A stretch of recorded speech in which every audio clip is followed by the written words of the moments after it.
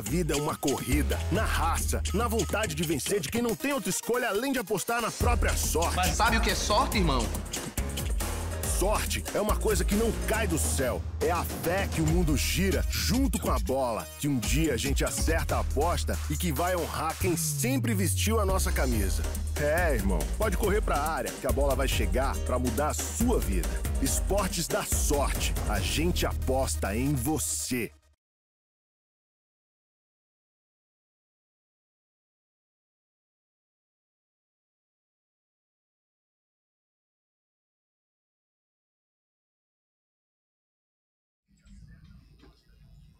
E aí, pessoal, boa tarde.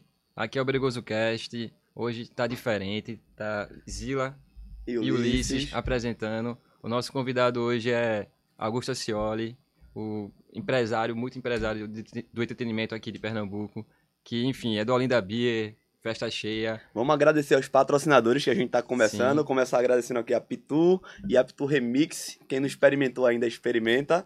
E deixar pra tu aqui, ó, o Esporte da, Esporte da sorte, viu? Esporte da o Sorte. melhor que tá tendo. Vamos embora, vamos apostar. Valeu. É, começar apresentando um pouquinho aqui de Augusto. É, Augusto Acioli, empresário. Ele é um dos produtores dos maiores festivais que a gente já viu. Produz forró, produz axé, produz pagode, produz São João da Capital, produz de tudo um pouco, Augusto. Me fala um pouquinho aí da tua trajetória, da tua vida e dessa empreitada como produtor e empresário musical. Obrigado aí pelo convite, né? Acompanho vocês demais, essa resenha. E para mim é um prazer estar aqui hoje. Né? É, faço de tudo um pouco, vendendo ingresso, eu estou no meio. É, a gente tá, tem uma história longa aqui no Recife, né? Temos uma empresa aí que esse ano está fazendo 28 anos, né? Fazemos todos os tipos de eventos, com todos os tipos de artistas, ritmos, né? A gente não tem é, preconceito com nenhum tipo de, de, de artista, de cantor, de cantora, de foi música, a gente tá, tá no meio, né? E temos a felicidade né, de, de ter uma, uma história longa aqui na cidade, né, querida. Nós temos vários eventos que são eventos que as pessoas trazem para elas, né? Você tem, por exemplo, um samba Recife. Ele não é, não é nosso, é, é, é das pessoas, entendeu? Tem gente que é, sábado mesmo a gente fez um show lá no, no Parador. Tinha uma, uma menina lá, uma amiga nossa, com uma tatuagem do samba Recife, entendeu? Eu queria Então- saber como o Samba Recife começou e onde tu foi buscar essa ideia, quais foram os teus fundamentos para isso, tua influência, quem te levou a criar o Samba Recife?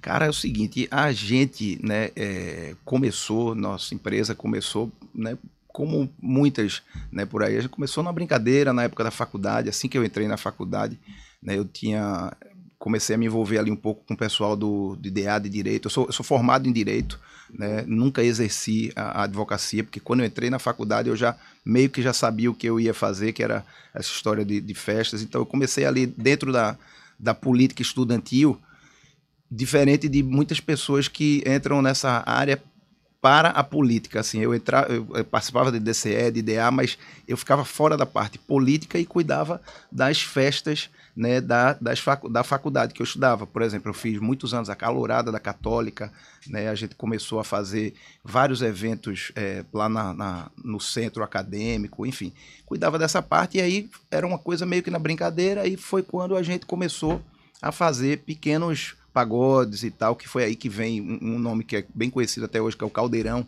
Né? a Sim, gente sim. até hoje tem um programa de rádio chamado Caldeirão Mania, que vem do Caldeirão que a gente começou lá atrás, mais de 20 anos. Onde era o local inicial, Augusto, do Era Caldeirão? num, era num bar chamado Oitão. Esse bar nem existe. Oitão Bar, conheço mais. ali. Oitão Bar. É perto do Espinheiro ali, Rosarinho, né? Exatamente, na rua do Colégio Santa Catarina, ali perto do Hospital H, é, Agamenon Magalhães, não, é, Agamenon Magalhães. Agamenon, Isso, Agamenon, isso, é. porque eu tava confundindo com a avenida. É, minha cabeça depois do Covid, ela tá meio... tá, tá meio... A, co a Covid deixou todo mundo meio pirado um pouquinho, né? Esquecendo das coisas. E, enfim, a gente começou com esse pagode, o Caldeirão, né? E como o nome já- diz, era um pagode. Então a gente, o, o samba, ele faz um- uma parte assim da, da nossa vida. é, assim, desde o início, entendeu? Até hoje a gente faz é, shows de, de samba. O primeiro samba Recife foi quando? O Samba Recife, esse ano, ele faz, completa 19 anos. Uau. Né? Ele, 19 anos. E é, um, é o maior evento de samba do Brasil, né? o maior festival Sim. de samba do Brasil. Em quantidade de dias, por exemplo, nenhum evento do Brasil de samba é, realiza em dois dias. Né? É o maior em número de atrações, é o maior em público, é o maior em patrocínios. Né? Isso não sou eu que digo, quem diz são os próprios artistas. Você tem vários depoimentos de, de, de, grandes artistas falando sobre a importância do samba Recife, que nasceu lá atrás, junto do Oitão Bar, junto do Caldeirão, junto da nossa história com o samba, né? E fomos eh, começamos fazendo é, eventos, obviamente, com as bandas daqui de Recife, artistas locais, e daí foi crescendo e começamos a contratar alguns artistas nacionais e veio a ideia de juntar essas pessoas num grande festival que até então a gente fazia alguns shows de samba no Clube Português, fizemos muitos shows. Muito, você começou muitos, forte no português. Muito, muitos shows no português, muitos shows na ali na exposição de animais. Cordeiro. Fizemos muito no Cordeiro, fizemos muitos shows no Internacional, Clube Internacional. E aí veio um belo dia e a gente decidiu fazer um evento com o nome da cidade, com o nome né, do samba, que foi o Samba Recife. E aí juntamos no primeiro ano quatro artistas e já foi um grande sucesso. O primeiro Samba Recife foi realizado no dentro do pavilhão do Centro de Convenções. Hum. E aí eu acho que fizemos lá durante uns três anos. E aí, depois disso, sempre na área, área externa, externa. Do, do, Centro de Convenções. O público máximo foi 120 mil pessoas mesmo ou é, deu já, mais aí? Já colocamos 106 mil pessoas. Uau! É, em uma edição, eu acho que deve ter aí uns 12, 10, 12 anos. Foi na época, eu lembro demais o, o o último artista desse dia a se apresentar foi o Exalta Samba na época, né, com o Tiaguinho, com o Péricles, com o Pinha, e tinha uma música que até hoje é bem famosa, que é Livre para Voar, né?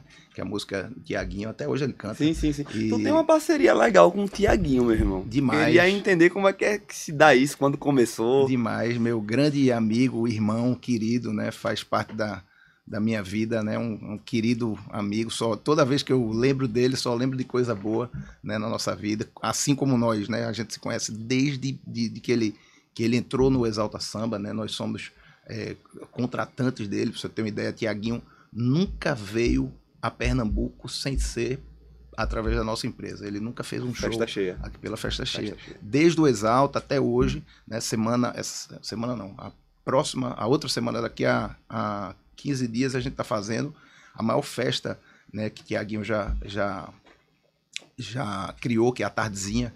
Né? A Tardezinha... O Tardezinha é uma criação sua, com a festa cheia e... Não, a Tardezinha é uma criação do Tiaguinho, do, do, do, cantor, com, com o Zulu, que é o Rafael Zulu, que é um grande amigo nosso também, meu amigo querido. E eles criaram essa festa lá no Rio de Janeiro, na época que Tiaguinho estava participando, eu acho que do Fama, alguma coisa. Não, do. Fama não, daquela. Do The Voice, eu acho. Sim. E aí, todo domingo, o Tiaguinho tinha que ir para o Rio. E aí fazia esse programa, é, era, eu acho que era tarde da noite. É uma história mais ou menos isso. Sim.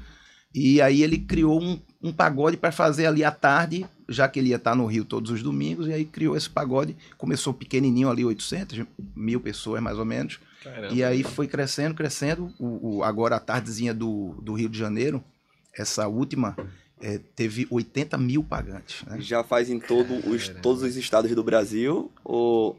Já, eu acho que todos os estados é, já tiveram tardezinha, né? Esse ano, né, que foi a volta da tardezinha, tardezinha encerrou há quatro anos no Maracanã, num show no, no estádio do Maracanã, e foi feito um DVD, e após isso parou. Né? Aí esse ano eles resolveram voltar com 20 cidades apenas do Brasil que vão receber então é mais ou menos um a cada 15 dias. E a do Recife faremos aqui no dia 20 de maio, né, ingressos já esgotados, né, lá, na, lá na, na, área externa do Centro de Convenções. Estamos preparando assim uma, uma festa belíssima, porque como são poucas cidades no Brasil que vão receber, a gente precisa, como a gente, a gente não, né, Tiaguinho batizou o Recife de Recife diferenciado, né, e a gente precisa entregar uma festa bonita para o Brasil inteiro ver o, o quanto Recife ama o, o, samba, né? Como esse Sim. ritmo tá é, né, enraizado aqui na, na nossa terra, né? E, e, é uma é uma apesar de fazer, como eu falei, shows de todos os tipos de, de artistas, o, o nosso coração, ele, ele bate um pouquinho no, no ritmo do surdo. Falando aí de samba, de Tiaguinho, de Tardezinha, o teu gosto musical, tu é mais voltado pro samba mesmo, para parar ali no carro e ouvir uma música? É um samba, é um pagode, é um forró, é o que que tu gosta Ah, mais? eu Augusto? escuto de tudo. Se a música for boa, eu, eu escuto de Eu tudo. Depende muito da hora, né? Eu gosto, gosto muito de, de ouvir MPB, gosto muito de ouvir. é, adoro Djavan, adoro o João Bosco, Emílio Santiago, é, amo Roberto Carlos, por exemplo. Eu tenho uma, uma felicidade muito grande na vida. Era um dos meus sonhos fazer um dia o show do, do Rei, né? E conseguimos, após a pandemia, depois de cinco anos que o Roberto Carlos não vinha a Recife, a gente conseguiu é, trazer o Rei. Foram eh, inicialmente era previsto um show, fizemos três no, na reinauguração do No ginásio mesmo final de semana assim? no mesmo final de semana. Uau. no Festa, casa no- cheia, lotou, casa vamos cheia. abrir outra sessão, tipo teatro. Geraldão. Imagina Uau. o Geraldão com 7 mil pessoas por dia para ver o Roberto Carlos e para a gente foi uma satisfação muito grande. Então, adoro o Roberto Carlos, adoro o Era- Erasmo Carlos, ouço muito, gosto muito de samba.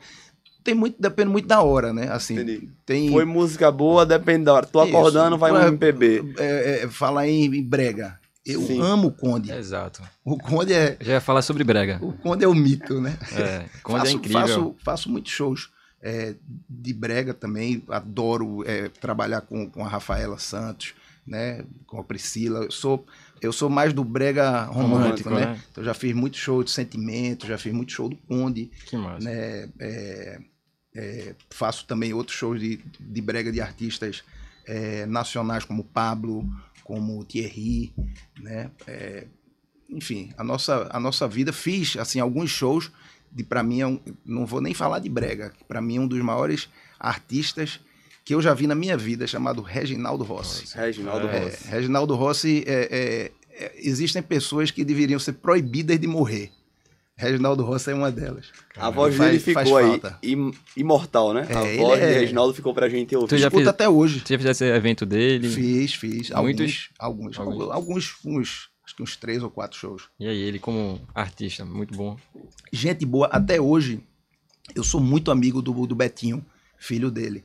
Meu amigo querido. Passamos agora o Réveillon juntos lá em, lá em Muro Alto. Né? Vez ou outra, quando ele tá animado, ele, ele canta as músicas do pai. Que massa. É, é um, é um prazer muito grande. E tive a honra e a alegria de, de conhecer Reginaldo Rossi. Né? Queria poder ter convivido mais com ele, porque é um cara que faz falta. Né? É, uma, é um, um- um mito. Né? É um mito também. Falando de brega, aproveitando que a gente tá aqui no Bregoso Cast, agradecer um pouquinho de novo aos nossos patrocinadores, Esporte da Sorte, Pitu, pessoal, ao tempo que Augusto toma uma água, Isso. né? E tu, meu irmão, como é que estão as coisas? Tudo certinho. Augusto, eu queria falar contigo também sobre o Recife Trap Festival. O que tu achou dessa experiência? Já é a segunda vez que tu faz, né? O Recife Trap Festival. É, o, esse, esse ano, né, a gente é, deu, deu uma, uma nova cara, né, a esse festival, né, um, um ritmo que existe, né, há, há alguns anos, mas que agora, né, decolou de um jeito é, avassalador, né, o, o, o ritmo está muito forte, né, existiam, né, vários artistas já que têm tem uma, uma trajetória massa, como Felipe Rett, né, como Matuê, Pose É, do Rodo, Pose, pô, assim, os caras são muito top, né? Só que tem uma galera nova chegando e o trap, diferentemente, assim, é um, é um ritmo que eu tô ainda me adaptando né, a ele, até porque ele toda hora muda, né? Então os artistas mudam muito, né? De uma hora para outra, em três, quatro meses, um artista estoura. Você vê o caso do, do Veig mesmo agora, É. estourou de- em quatro, cinco meses, né? Explodiu. Explodiu mesmo. Né? É, tanto que ele nem estava anunciado no Recife ele Trap não tava na line-up do Recife Trap Não. e vocês foram Não. lá e convidaram. convidamos e foi um, um pipoco, entendeu? Então é um ritmo muito bacana e a gente tem tratado ele da forma que ele merece, né?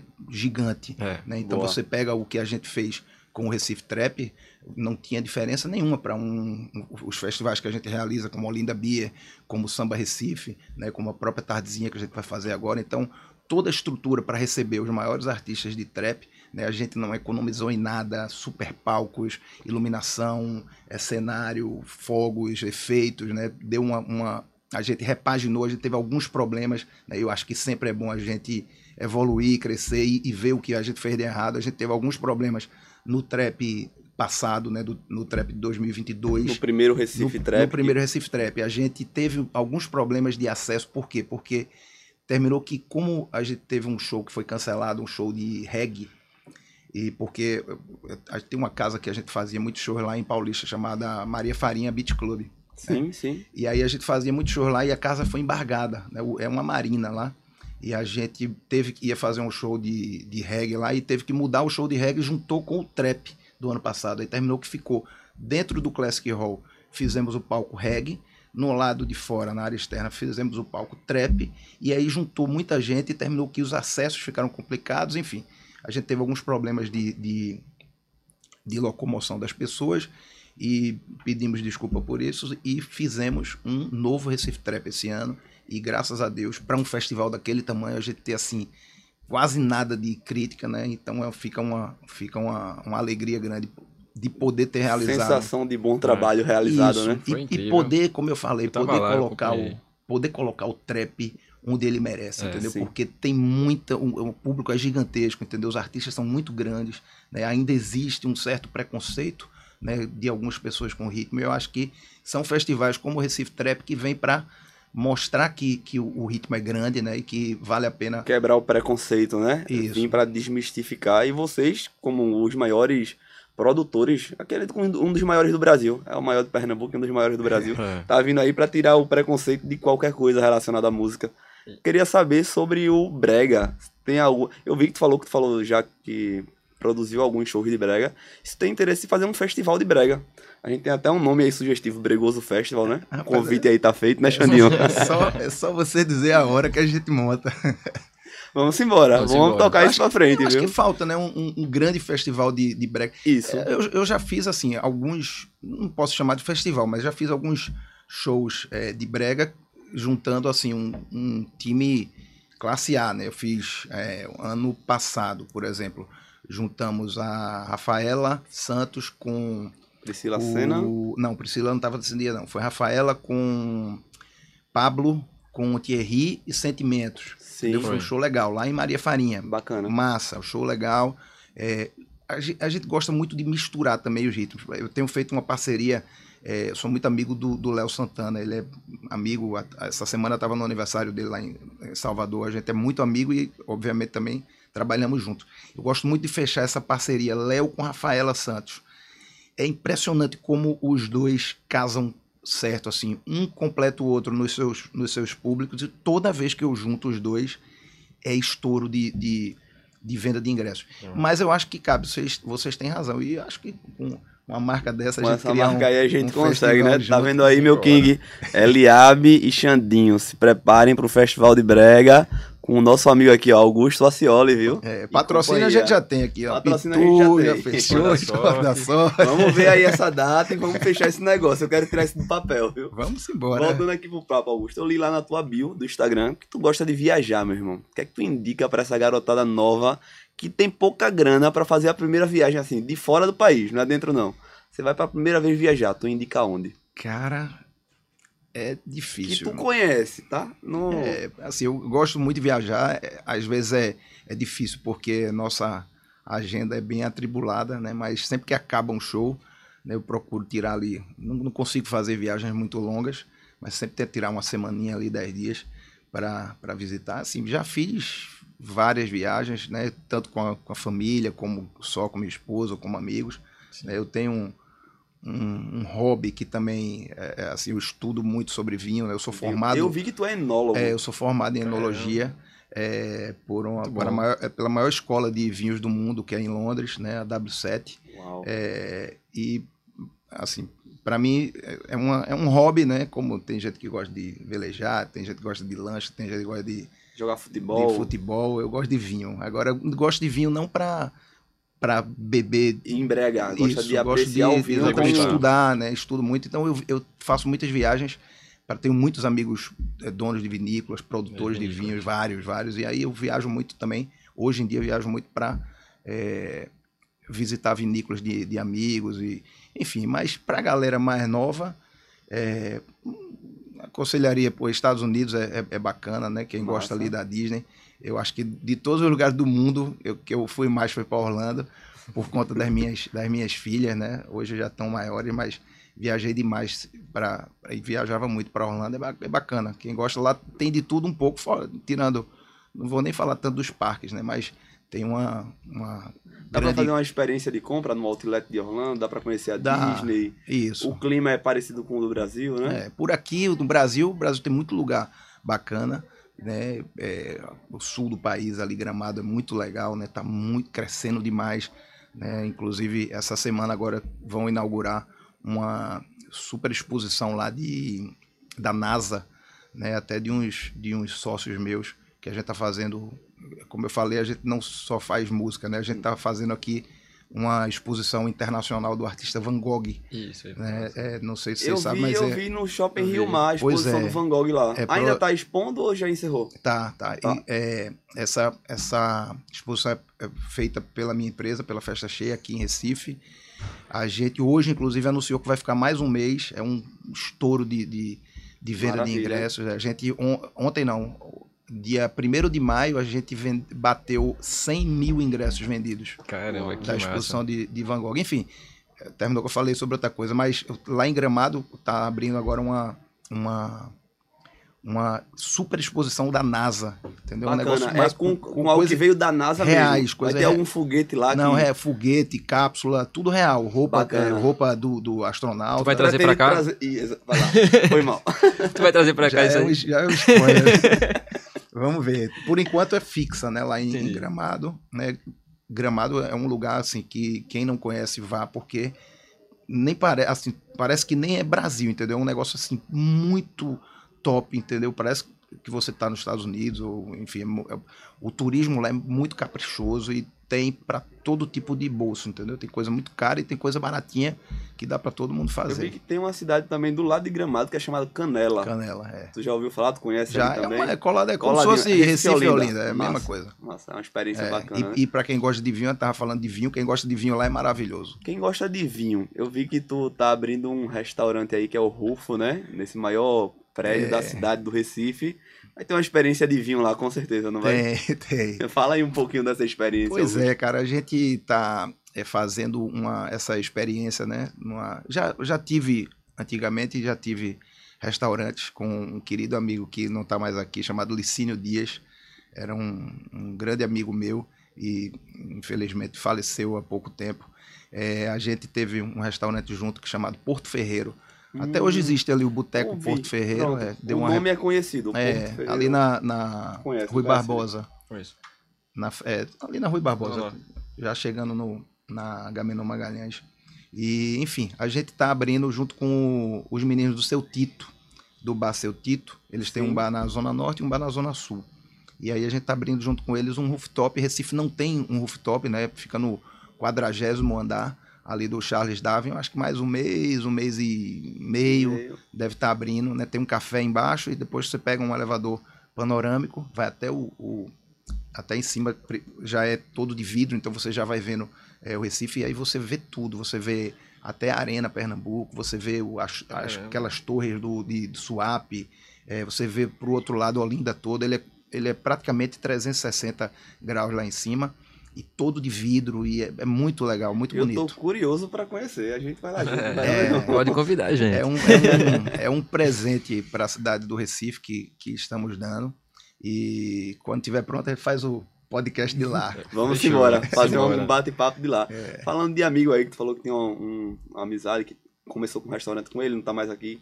Enfim, sentimentos aí pro pessoal, pra você inclusive. E eu queria saber tua amizade com o Felipe Carreiras. Vocês são irmão, parceiro mesmo. Eu vi que vocês têm história. Tem história aí Muita. contar. Muita, muita. Felipe é tudo que a gente construiu, né? A gente construiu junto, né? Eu, eu e Felipe somos somos não somos não somos irmãos de, de sangue, mas somos irmãos de, de alma, né? A gente tá junto aí há muitos anos, né? A Adriana, querida amiga que está aqui hoje, acompanhou grande parte da nossa história, se não dizer toda, né? É, e a gente, há 28 anos, né? Como eu falei, é, começamos a fazer alguns shows na época do, do- da faculdade e é uma história bonita, muita luta, né? Muita, muita, é, muito suor desperdiçado aí, no, desperdiçado não, né? Investido aí na nossa vida. Eu acho que a gente tem uma história bonita, né? Começamos é, do zero, tudo que a gente construiu, construiu com nossa com o nosso trabalho, né? E com a ajuda de muita gente, né? Muita gente mesmo. Mais uma vez, falo de Adriana que ajudou a gente demais. É, e assim, de, de uns, uns anos para cá, acho que oito anos, Felipe foi convidado pelo governador na época, Eduardo, Eduardo Campos. Campos. Eduardo convidou Felipe para ser secretário na época do, do, da prefeitura do Recife, que tinha acabado Da de entrar. turismo, não foi? de- exatamente, secretário tinha, tinha entrado o Geraldo Júlio para ser prefeito. Sim. Aí Felipe tava, foi junto com o Eduardo e junto com o Geraldo Júlio, foi convidado para ser secretário de turismo, levar um pouco da experiência eh, que ele tinha na iniciativa privada, que nós temos, emprestar um pouco daquilo para o serviço público, né? E durante um tempo é, bom, Felipe ficou como secretário, depois assumiu a secretaria do, do Estado de Pernambuco, criou, por exemplo, até hoje existem as ciclofaixas. Sim. É, Tem criou, muito trabalho feito de Felipe, Isso. inclusive relacionado à academia da cidade, que é bem sa- Isso. saúde e bem-estar, né? Isso, exatamente. Então, é, Felipe conseguiu, de forma genial, usar um pouco da, da experiência empresarial né, que a gente é, aprendeu né, na, na nossa vida e levou para o serviço público. Né, e hoje a gente tem que agradecer a, a, a presença de Felipe, não só eu como, como empresário de shows, mas toda a classe artística, toda a classe que, que foi a mais prejudicada financeiramente da pandemia. Né? Felipe hoje ele é o deputado federal, hoje ele assumiu né, como deputado Sim. federal, até então estava aqui em Pernambuco, e assumiu a liderança de toda é, é, cadeia de turismo e entretenimento do Brasil. Então ele criou agora, e foi aprovado e virou lei, uma lei chamada PERSE, que é uma lei que ajuda todo mundo. né? Aqui vocês vivem com muitos artistas, então Sim. todos os artistas, todos os contratantes, todo mundo que, que é envolvido com show, desde o cara que coloca a iluminação, o cara que é, aluga o som, o cara que tem uma empresa de segurança, Que todo mundo enfim. que, que durante dois anos foi proibido de trabalhar, de exercer sua profissão, né? A gente sabe o quanto a gente sofreu na pandemia. E aí Felipe fez essa lei isentando uma, a maioria da- das, das pessoas que trabalham com isso, isentando de, de, do pagamento de impostos federais durante cinco anos, que é uma Boa. forma de amenizar né, todo, todo o prejuízo causado que pela todo mundo teve. pandemia, né? Isso, pô, o, o que eu vi de, de, de banda vendendo van, vendendo ônibus, é, baterista vendendo sua bateria, o cara que vendeu seu teclado para poder sobreviver né, na época da pandemia. E hoje, inclusive, a gente tem muita dificuldade é, com os fornecedores é, dos eventos, porque muitos é, fornecedores é, migraram para outras profissões. Sim. Então, por exemplo, eu con- conheço vários caras assim, super é, é, é, talentosos, de pessoal de, de mesa de som, técnicos é, talentosos que saíram, foram para outras profissões e hoje a gente tem um- uma defasagem de profissionais na nossa área é, por conta desses dois anos de, de pandemia, né? Porque realmente foi muito foi muito sofrido, né? E Felipe é, encampou essa luta nacionalmente, né? E hoje toda a nossa classe, né? Todos os artistas, todos os contratantes, todo mundo envolvido com isso tem essa esse alento, né? De, de poder retomar sua vida. E assim é um cara que é, é fantástico, assim é um, é um irmão né, de coração, uma pessoa assim, do bem demais, entendeu? E não, não tá, não participa hoje diretamente da, da nossa empresa, é, até porque ele vive em, em Brasília, mas sempre que pode estar nos shows e sempre. é, o Felipe tem uma cabeça muito boa, pessoa muito boa de, de, de ideias, entendeu? E ele, assim, a gente consegue conversar e ele coloca algumas coisas para mim e a gente consegue colocar em prática. Ele pega uma experiência que tem aqui e ali, faz meio que um brainstorm você implementa, não é isso? É. Felipe hoje ele é ministro de turismo do Brasil, não é isso? Não, não. Ele é deputado federal. Deputado federal. deputado federal e lidera uma, a maior bancada de deputados da, da Câmara Federal, é liderada por Felipe, né? E ele, fora isso, ele encampa essa, essa luta pelo turismo, né? Se você e Eu pelo não turismo, sei de onde eu tirei isso, eu tava e pelo- meio enganado. não, aí. porque na verdade o que é que Felipe é? Ele, ele lidera essa bancada é, de todo mundo ligado ao turismo e ligado ao entretenimento. Então tudo que é de música, de artistas, de turismo, de hotel, por exemplo, é, são várias coisas, por isso que a, a classe política, muitas vezes, ela é, é, assim, se fala muito mal dos políticos, e acho que tem muito político, é óbvio que tem muito político que, que tem que falar mal mesmo, né? Mas tem a, quando você usa a política para que para transformar a, transformar a vida das, a, pessoas, vida das pessoas, eu acho que é o veículo é muito principal legal. lá, né? Você hoje tem, por exemplo, o, o, o hub da Azul, Recife, até é, estrategicamente, Recife fica no meio do Nordeste, né? Então, o que é que o Felipe fez? Porra, se você tem um, uma, uma cidade que fica no meio do Nordeste, né? Para Fortaleza dá 800 quilômetros, para Salvador dá 800, você está aqui no meio, por que não o aeroporto do Recife ser o hub das companhias aéreas? Então, Felipe foi lá, conversou com todo mundo de, de empresa aérea. O que é que ele fez? Foi aqui, baixou um pouco do imposto de, de, de combustível para aeronave. Tá entendendo? Ligou sim, os pontos, sim. transformou o Recife hoje. O aeroporto do Recife é o aeroporto do Nordeste que tem mais voos internos. Né? Até caiu um pouco mais os, os voos internacionais, mas ele já está trabalhando de novo para para retomar. Que aí também não é culpa dele, porque foi isso veio da pandemia, né? Na pandemia, sim, sim. teve pandemia... muita coisa. Então, você usa o. Até hoje tem ciclofaixa na rua, né? Trabalho de Felipe, as, as academias da cidade. Da cidade. Né? Então, são, são várias ações que são feitas por políticos e que deixam um benefício para a população. Né? Então, é, ter emprestado né, nosso, meu sócio para o serviço público foi terminou que foi um presente para as pessoas, né? Fala aqui um pouquinho, Felipe. Você está convidado para vir aqui de novo, meu irmão. Apareça.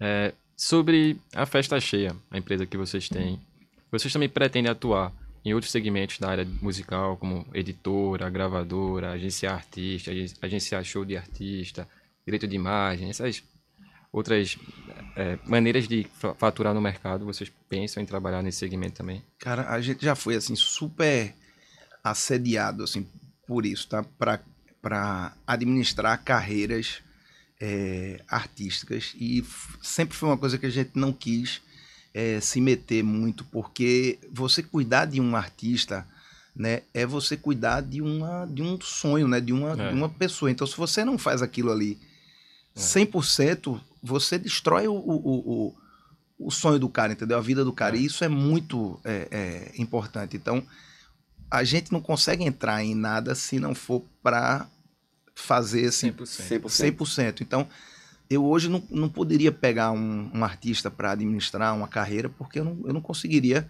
fazer isso. Por quê? Porque meu negócio é, é o contrário, entendeu? Eu, eu espero que o artista, que alguém administre ele e faço é, o contrato diretamente para ele. Então, tenho vários amigos artistas e o que eu puder fazer é, por eles ajudo assim demais. É, mas eu, eu prefiro não, não administrar carreiras porque, como eu falei, é uma responsabilidade muito grande e eu acho que não, não eu não consigo fazer isso 100% me, é, por Perfeito, metade, né? entendeu? Aí, então não dá. Então eu prefiro focar nos meus eventos, que graças a Deus a gente consegue fazer é, bem e, e entregar legal, do que ficar tentando fazer uma coisa e não fazer Ô, direito. Augusto, é, voltando pro lado de evento, a gente viu que tu já fez eventos com vários artistas renomados, como Seu Jorge, Ivete Sangalo, Sangalo, Luan Santana, entre outros. Qual o critério que tu usa para escolher esses artistas e ir buscar? É só, ah, tá em alta mesmo, tem público, vamos trazer, ou tem algo a mais? Como também lidar essa relação tua com esses artistas? Tem aquela parte de tiete ainda, ou geralmente é parceiro, é amigo, como é que isso... Cara, veja, depende muito do, do do evento, né? A gente faz evento para todo tipo de, de classe social, para todo tipo de idade, né? Então você tem que analisar aquela a, qual é o artista que funciona bem naquele determinado evento. Então tem artistas que traz a galera mais velha, tem artistas que traz a galera mais nova. E aí a gente vai, obviamente, a gente precisa entender é, a relação custo-benefício né, do evento você pega, vou dar um exemplo, o festival que a gente faz, o Olinda Beer. O Olinda Beer é, uma, é a maior prévia de carnaval do Brasil, né? Ela é sempre na mesma data, sempre um domingo antes do carnaval. E o que é que acontece? É um evento que eu não tenho como colocar só artistas de carnaval. Né? Não, apesar de ser uma prévia de carnaval, o Olinda Beer dá 60, 80 mil pessoas. Né? A gente brinca, chega a gente lá de bicicleta e chega um cara de helicóptero.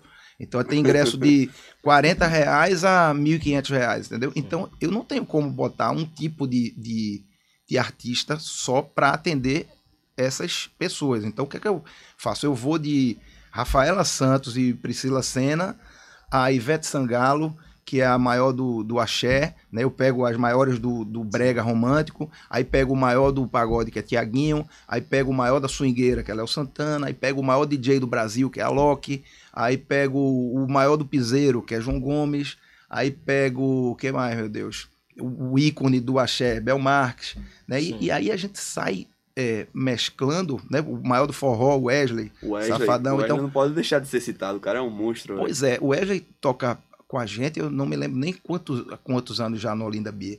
Eu não tenho como tirar um cara como o Wesley do, do Olinda Beer, entendeu? Ele Sim. é a, a cara do evento. Eu não tenho como tirar um cara como o Bel, entendeu? Do, do Olinda Beer. Ivete.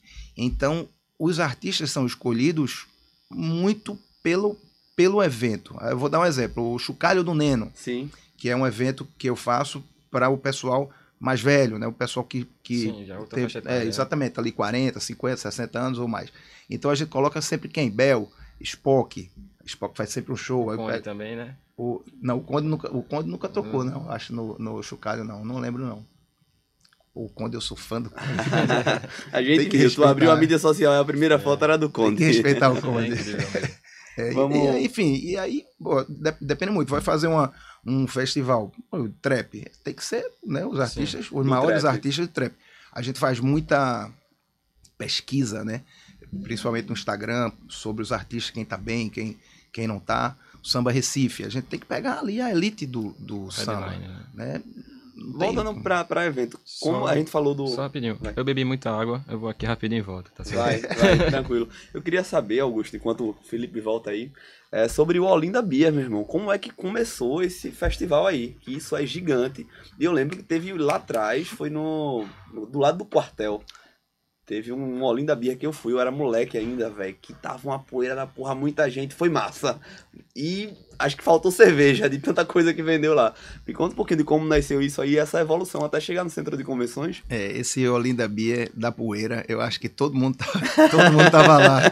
Porque até hoje eu escuto falar nisso. Eu acho que foi talvez assim um dos piores eventos. Foi mesmo, que mas a foi gente- bom. a- não, financeiramente foi, foi ótimo, né? Mas assim, foi um dos piores eventos que a gente já fez na vida.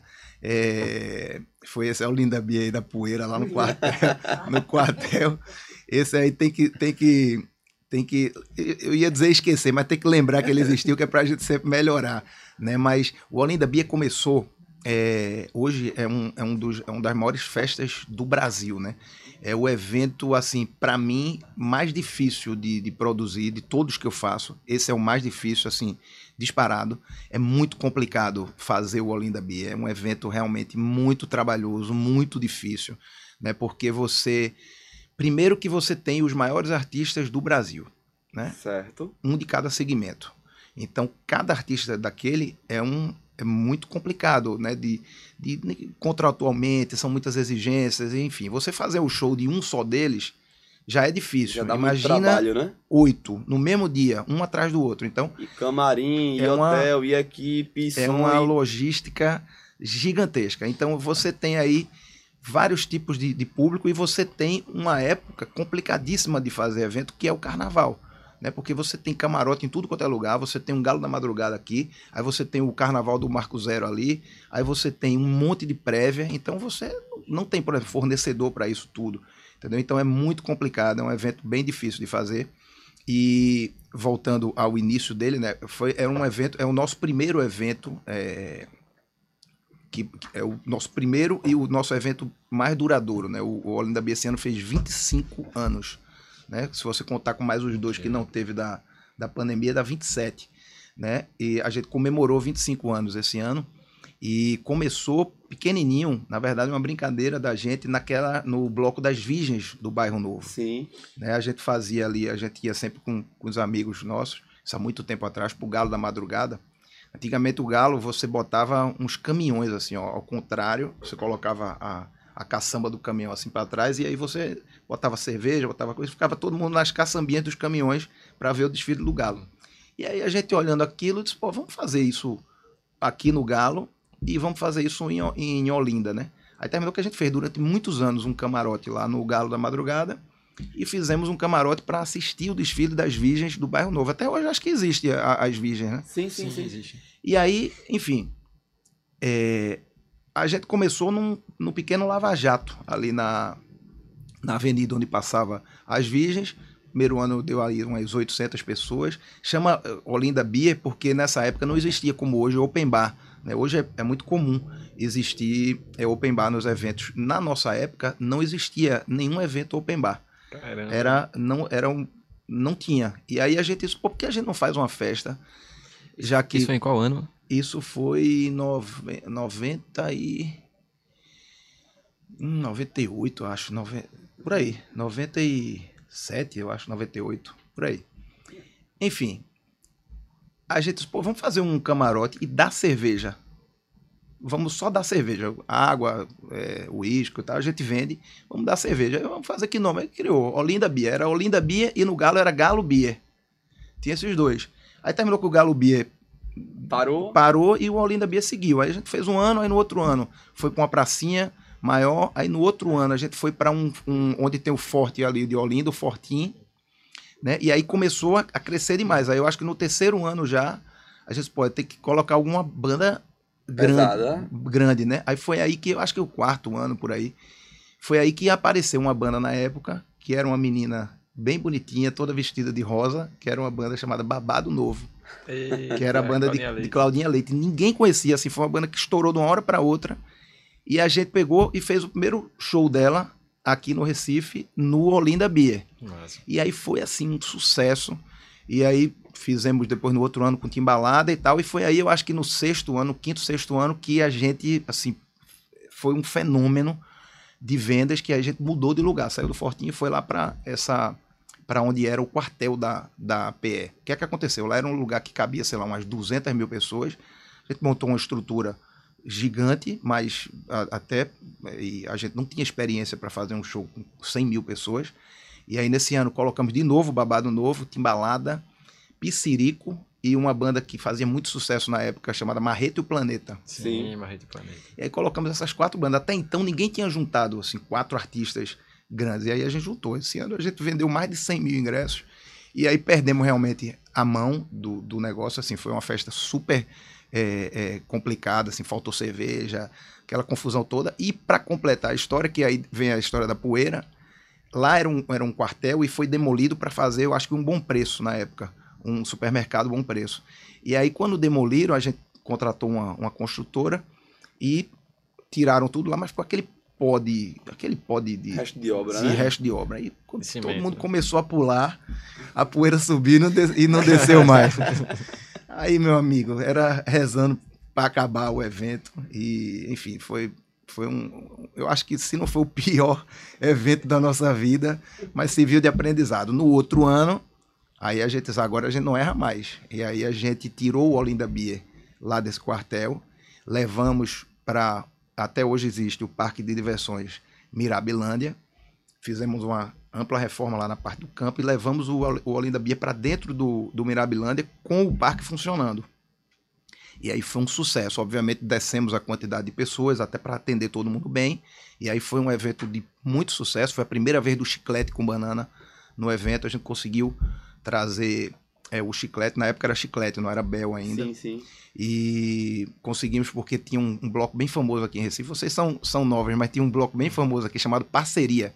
Era o bloco da parceria. Bloco da parceria de Do Bom João Preço. Carlos Paz Mendonça, Isso, né? exatamente. Era, era o bloco do, do grupo Bom Preço, que saiu um monte de trios elétricos pela avenida. E nesse ano que o bloco acabou, aí o Chiclete com Banana, que era o grupo mais explodido do Brasil, sempre foi muito é, é, é, na frente, né? E para conseguir uma data do Chiclete com Banana era uma dificuldade. E aí eu falei na época com o Silvio Pontual, que é um querido amigo, meu sócio até hoje no, no Olinda Beer. Conversei com ele para que ele pegasse aquela data que ele fazia do, do, do bloco da parceria e colocasse dentro do Olinda Beer e entrasse no, no evento com a gente. Né? E aí foi assim, um grande sucesso até hoje, desde aquele dia que era Chiclete, depois, depois ficou Bel Marques, mas desde aquele dia que Bel nunca deixou de tocar no Olinda Beer. É o artista que Ele é mais se incrível. apresentou né? Um cara que é um, é um exemplo como, como artista, né? Um, um, um, um senhor, né? De idade, Bel tem 70, anos. E tem E- fãs de todas as idades. Isso, minha, minha filha minha, gosta do, do- É. de Bel, entendeu? Eu lembro de ver É, Bel. Pessoal de 50, 60, 70 anos gostando de Bel Marques, de 14, 16, 19 gostando também. É um dos maiores É, artistas É um ícone.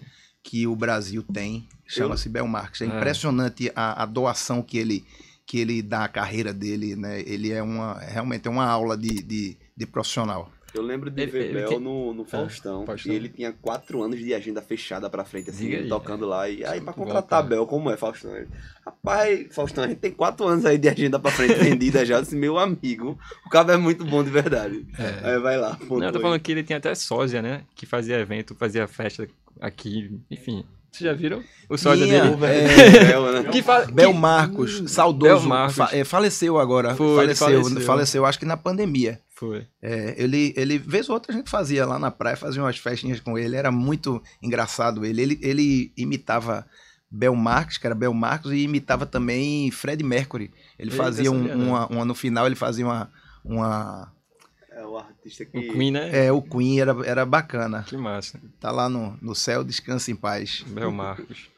Bel Marcos. Isso aí. Ô, Augusto, tem algum projeto que tu ainda não realizou, que tu tem um sonho de realizar? O que é que tu pensa aí pro futuro? Como empresário, como pai, como filho também, né? Cara, eu, eu outro dia desse eu tava conversando, eu, eu não, eu não peço mais nada assim na vida, eu só faço agradecer. É, o, que, o, que, o que Deus fez por mim, eu não tenho nem como agradecer. Então, eu vou passar o resto da minha vida agradecendo. É, a, a- né, minha vida é uma vida muito feliz, né, até me emociona um pouco, muito, né, você trabalhar com, com em levar alegrias para as pessoas é muito legal, assim, eu fico, sou muito agradecido a, a Deus pelo que ele me, me que ele faz por Concedeu, mim, né? né, aqui na, na terra, levar alegria para as pessoas, né, as pessoas saem de casa para namorar, para né, para se Pra divertir, para esquecer um pouco né, do- dos, das coisas ruins da vida, né? Elas vão para os shows para isso. E para mim é uma, uma alegria muito grande fazer o que eu faço, trabalhar com o que eu trabalho. Bacana demais. Só tenho a agradecer. E a gente Massa, também, a gente agradece muito, viu? Por você, Augusto, a gente tá vocês. chegando ao final, né? Quer deixar Sim. alguma mensagem aí pros nossos seguidores? Cara, obrigado aí pelo, pelo convite, adorei a, a conversa. Parabéns pelo trabalho de vocês. Né? Acho que o que vocês fazem pelos, pelos artistas, né? principalmente aqui do, do Recife, né? a gente sabe o quanto é difícil é, viver de música, né? a gente sabe o quanto difícil é, é- é crescer nessa profissão. São pouquíssimos que, que chegam né? a- a- ao estrelato, né? ao ápice Sim. principalmente os artistas que vocês ajudam, né, que são os artistas muitas vezes que vêm de comunidade, artistas, É. artistas que vêm que têm uma dificuldade gigante, né, para poder chegar, né, aonde estão chegando e pô, assim vocês têm que, que bater palmas e parabenizar e contem comigo. Só não esqueça do nosso festival. Viu? Não esqueça, eu ia falar disso agora. Olha, o embora. Festival tá vindo aí para dar oportunidade para um bocado de gente e trazer os mais, os maiores do mercado também. Vamos fazer uma coisa, um negócio grande aí junto. Vamos, se Viu? Deus quiser. Pessoal, agradecer um pouquinho aos patrocinadores. Eu tô com o chapéu da Pitu. Eu vou agradecer primeiro a Esporte da Sorte, que eu tava com o chapéu da Pitu, né? Que dá uma quebradinha aí no clima. Tá bom, Jess? Tem que baixar mais, né? Deixa eu ajeitar aqui. Mas agradecer. Esporte da Sorte, meu amor. A melhor que tá tendo. Felipe, agradece a Pitu aí. Se quiser Sim, abrir, tu abre, Pitu, bebe. Pitu Pode Remix, beber. nossa patrocinadora aqui, Minha gente, é isso. Estamos chegando ao fim de mais um Bregoso Cast. O convidado do dia foi o nosso querido Augusto Acioli, o cara que já alcançou tudo na vida e até se emociona de falar. Augusto, meu irmão, muito obrigado por sua presença, muito obrigado de verdade, sucesso na sua vida, muita saúde, tudo de melhor pra você e sua família, viu? Obrigado, Ulisses. Obrigado, Felipe. Obrigado a toda a galera. Fiquei muito feliz. Valeu, pessoal, É, chegamos valeu. ao fim, valeu, tamo junto. Valeu, Felipe. Bora. Tamo junto. Senhor. Quase que eu